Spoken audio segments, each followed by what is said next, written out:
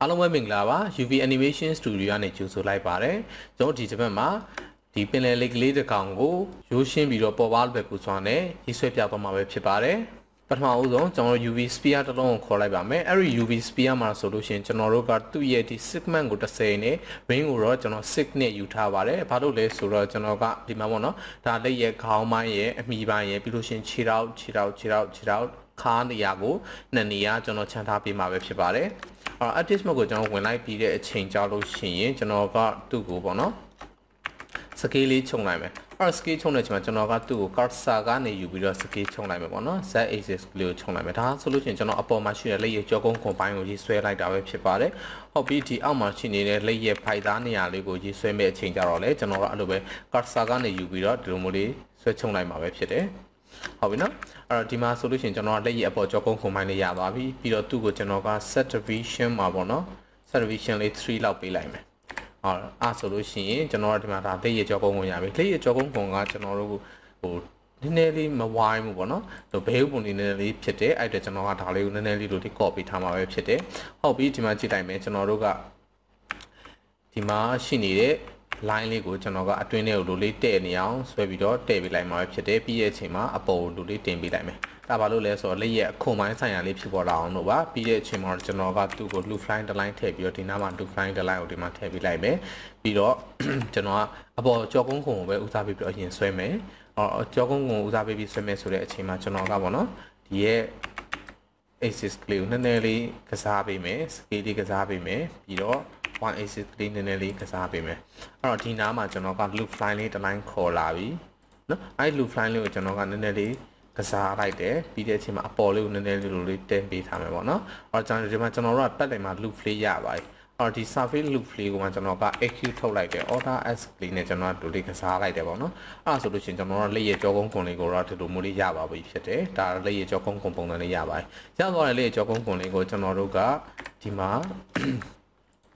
ဒီနားလေးမှာရှိနေတယ်ပေါ့နော် point ဒီနားလေးမှာရှိနေတဲ့ဒီ point လေးကိုကျွန်တော်ဒီမှာတော့ cursor ကနေမှ medium လေးပြန်ပြောင်းထားလိုက်ရင်အကောင်းဆုံးပါအော်ဒီမှာကျွန်တော်ကသူ့ကိုအပေါ်လေးလိုလေးတင်ပေးလိုက်မယ်ပေါင်းတော့ late ဒီခေါင်းထွက်မဲ့နေရာလေးမှာဒီလိုကော့ကော့လေးဖြစ်အောင်လို့ပေါ့နော်အဲ့တော့ခေါင်းထွက်မဲ့နေရာမှာကော့ကော့လေးဖြစ်ဖို့ဆိုလို့ရှိရင်ဘေးနားမှာရှိနေတဲ့ဒီ point လေးတွေကဘာလို့ပို့လို့လဲဆိုလို့ရှိရင်ဒီ point လေးတွေကပေါ့နော်နည်းနည်းလေးသူကလည်း align type လေးပေါ့နော်ဒီလေးရှေ့ကိုလိုလေးတိုးပေးနေဖို့တော့လိုတယ်8 axis လေးလိုလေးနည်းနည်းလေးကစားလိုက်မယ်ပေါ့နော်အာဒါဆိုလို့ရှိရင်လေးရဲ့ ဒီ level နေရာကော့တဲ့ပုံစံလေးကတော့ပို့ပြီးတော့ပေါ်လွင်လာပြီပေါ့နော်အာဒီမှာဒီပုံစံမျိုးလေးဖြစ်နေတယ်အဲ့တော့သူ့ကိုဒီလိုမျိုးလေးတွေရက်သွားမလားဆိုတော့မဟုတ်ဘူးပေါ့နော်ကျွန်တော်ဒီလို bay right view ကနေကြည့်လိုက်လို့ရှင် side view ပေါ့နော် side view ကနေကြည့်လိုက်မယ်ဆိုလို့ရှင်ကျွန်တော်တို့ကသူ့မှာရှိနေတဲ့ဒီအနာသားလေးတွေကလည်းအောက်ကိုနည်းနည်းလေးတော့အိချနေပြီးတော့လိုတဲ့အဲ့တော့မလိုတဲ့ point တွေပါနေရင်တော့ပြန်ဖြတ်လိုက်တယ် အပြီးတဲ့အချိန်မှာပေါ့နော်ကျွန်တော်ဒီမှာသူ့ကိုအောက်ကလေးနည်းနည်းလိုလေးချပေးလိုက်တယ်အာဒါဆိုလို့ရှိရင်ဒီလိုကော့ကော့လေးရပါတယ်အော်ကော့ကော့လေးရတယ်ဆိုတော့ဒီအမီးနေရာလေးလည်းနည်းနည်းလေးတော့ကော့ပေးဖို့လိုတာပေါ့နော်အဲ့တော့ဒီအမီးနေရာလေးကိုလည်းကျွန်တော်တို့ကဒီမှာပေါ့အပေါ်လေးကိုနည်းနည်းလေးတင်လိုက်တယ်အသားလေးကို rotation လေးပြင်တော့နည်းနည်းလေးပိုကောင်းတယ်ပေါ့နော်ဒိုလေးတင်ပေးလိုက်တယ်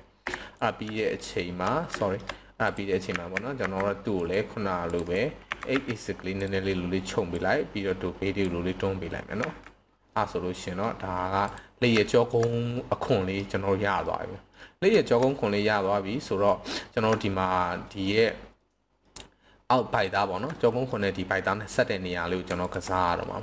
အော်ဒါလေးကိုကျွန်တော်အခုနည်းနည်းလေးချပေးလိုက်မယ်ပြီးတဲ့အချိန်မှာကျွန်တော် line လေးတွေမြင်အောင်လို့ဒီဘက်က symbol ကိုပြန်သွားလိုက်တယ်ပေါ့နော် symbol ကနေမှကျွန်တော်ဒါလေးကိုကြီးပေးမယ်ဟုတ်ပြီဒါလေးကိုကြီးပေးလိုက်မယ် symbol ကနေနော်ကျွန်တော်ဒီကောင်ကိုစကေးကြီးလိုက်တယ် စကေးကြီးပြီးရဲ့အချိန်မှာကျွန်တော်အဓိကကပေါ့နော်ဒီနားကနေမှကျွန်တော်အသားတွေထွက်ရမှာကျွန်တော်အသားတွေအားလုံးဒီနားကနေထွက်ရမှာ sorry ဒီမှာရှိနေတဲ့ဒီအသားတွေကနေကျွန်တော်ကထွက်ရမှာအဲ့တော့ကျွန်တော်သူ့ကိုအောက်ကိုနည်းနည်းလေးဆွဲချလိုက်ပြီအောက်ကိုနည်းနည်းလေးဆွဲချလိုက်ပြီအဲ့တော့ဒီမှာပေါ့နော် inner ဒီနားမှာ loop line line ထည့်ပေးထားဖို့တော့လိုတယ်ပေါ့နော်ဘာလို့လဲဆိုလို့ချင်းသူကဒီကောင်ကအောက်ရဲ့ဖိုက်သားနေရာရဲ့အထစ် အော်ဒီဒီမှာလက်ရှိရှိနေတဲ့ဒီ point line ကတော့ကျွန်တော်တို့ကလက်ရဲ့ခေါင်းတို့ခြေထောက်တို့ဆွဲထုတ်မဲ့အပိုင်းရဲ့နေရာလေးပေါ့နော်အဲ့ဒီနေရာမှာကျွန်တော်က loop line တို့ line ထည့်လိုက်ပြီ။ line ထည့်လိုက်တယ်ဘာလို့ loop line ထည့်လိုက်လဲဆိုတော့ကျွန်တော်တို့ကဒီနားကနေမှာဆန္ဒတက်တဲ့ကနေအပေါက်ဖောက်ဖို့အတွက်ကိုဖြစ်တယ်အဲ့အတွက်ကျွန်တော်တို့ကဒီနားမှာ loop line line ထည့်ထားတာ။ ဟုတ်ပြီအဲ့တော့ loop line ထည့်လိုက်ပြီဆိုတော့ဒီနားမှာကျွန်တော်တို့ကသူ့ကို viven နဲ့ symbol ယူလိုက်မယ်ပေါ့နော်သူ့ကို viven နဲ့ symbol ယူပြီးတော့သူ့ကိုအပေါက်ဖောက်မယ်ဆိုလို့ရှိရင်လည်းရတယ်ဒါမှမဟုတ်ဘူးကျွန်တော်ကတော့အကြိုက်ဆုံးကတော့ဒီအောက်မှာရှိနေတဲ့ point နဲ့ဒီ point နဲ့ကိုကျွန်တော်ကဒီမှာ set ပလိုက်မယ်ပေါ့နော်ပေါင်းပလိုက်မယ်သူတို့နှစ်ခုကိုကျွန်တော်ကဒီမှာစကီးနဲ့ချုပ်ပြီးတော့သူတို့နှစ်ခုနှစ် point ကိုတစ် point ပေါင်းပြီးတော့ set လိုက်တာပါဒါဆိုလို့ရှိရင်2 point 1 point ပေါင်းပြီးဆက်လိုက်တဲ့အတွက်သူက1 point နဲ့ဖြစ်သွားတယ်။သူ့ကိုကျွန်တော်တို့က vivel ခေါ်လို့ရှိရင်ဟောကျွန်တော်တို့မှာသူ့ရဲ့ vivel ရဲ့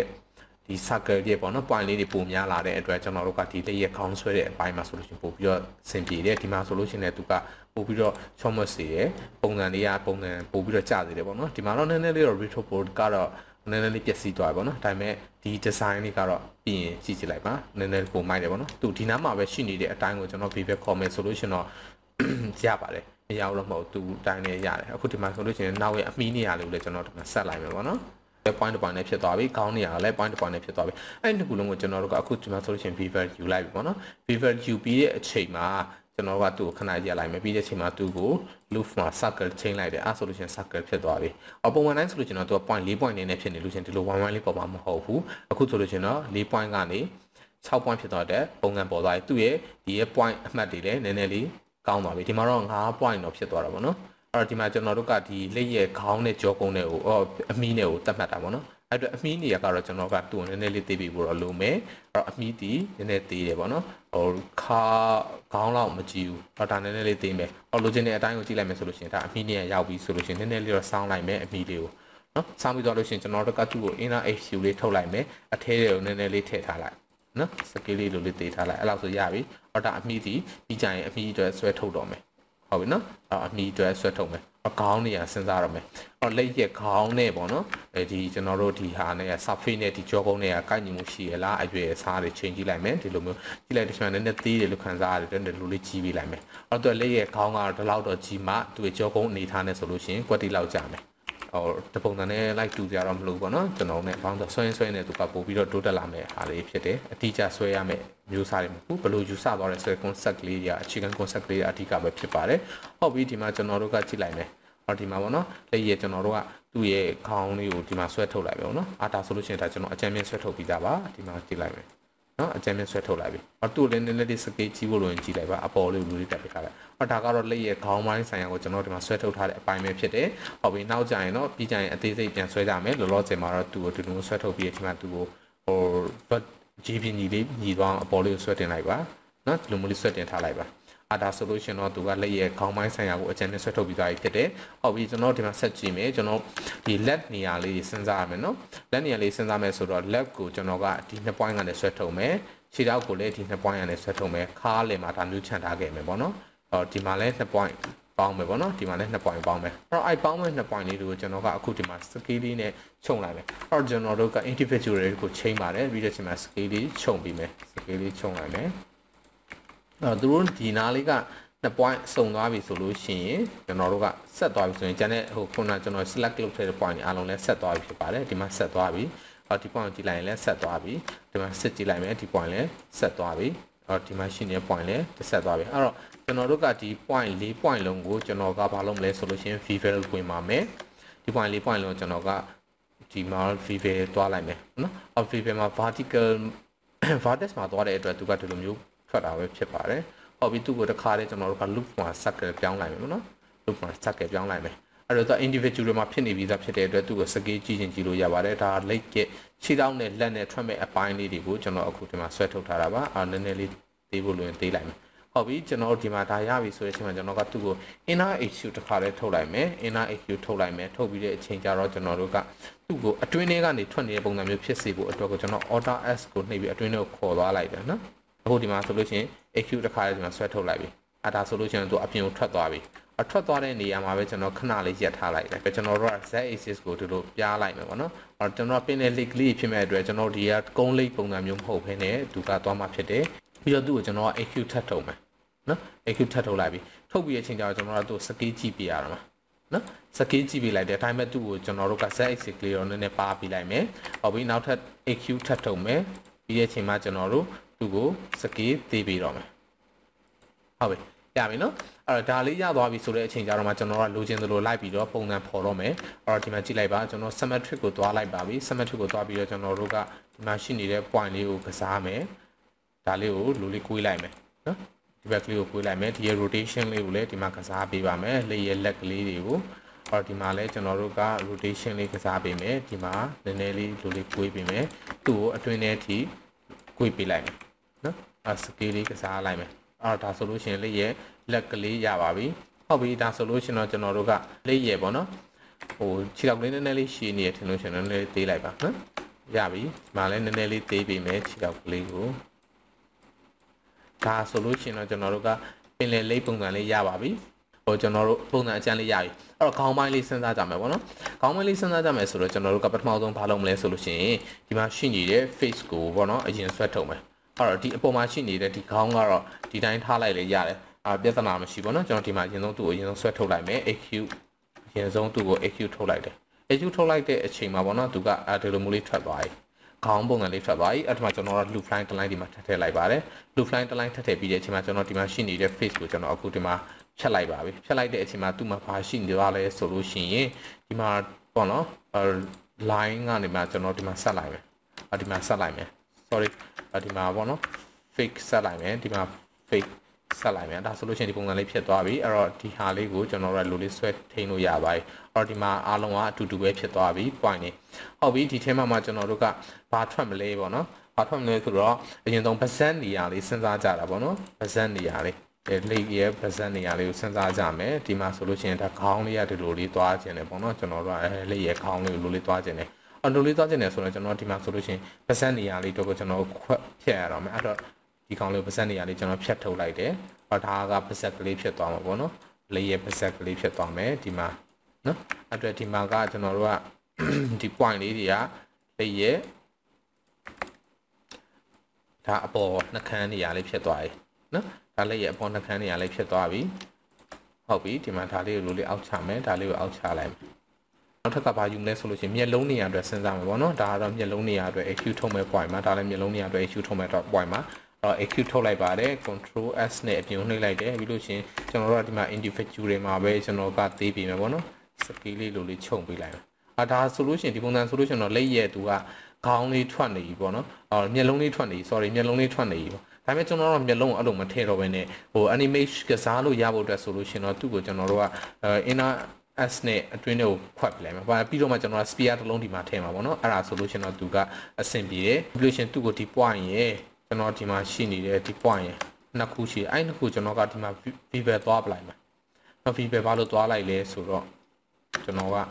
ဒီရှေ့လေးမှာဒီလိုမျိုးလေးဖြစ်ချင်လို့လှလှလေးနော်နှာခေါင်းလေးနဲ့နှာခေါင်းအပေါက်ကလေးနဲ့ဒီပါဇက်ရဲ့ shape လေးကိုဒီလိုပုံစံလေးဖြစ်ချင်လို့ကျွန်တော်လိုသွားလိုက်တာပါသူ့ကို feedback တစ် point ကို feedback သွားလိုက်တယ်အဲ့တော့သူ့မှာရှိနေပြီးသား point ပုံစံလေးတွေသူပေါ်လာတာဖြစ်တယ်ရှေ့တိုးပေးမယ်ဒါလေးတွေလည်းနည်းနည်းလေးရှေ့လိုလေးတိုးပေးလိုက်ပါမယ်အော်ဒါဆိုလို့ချင်းလေးရဲ့ခေါင်းလေးရပြီ အော်ဒီမှာကျွန်တော်တို့အဲ့တော့မှသူ့ကို inner HQ HQ ထုတ်ပါမယ် F ဆိုပြီးတော့ scale လေးချုံလိုက်မယ်နော်အာဒါဆိုလို့ရှိရင်တော့သူလက်ရဲ့ခေါင်းပုံစံလေးရပြီအောက်ထပ်အောက်မေးယူလေးကနည်းနည်းလေးကားပြီးအပြင်ကိုထွက်နေပေါ့နော်ဒါလေးတွေကအားလေးတွေကိုကျွန်တော်တို့ကဒီမှာနည်းနည်းလေးတင်ပေးမယ်ပြီးတော့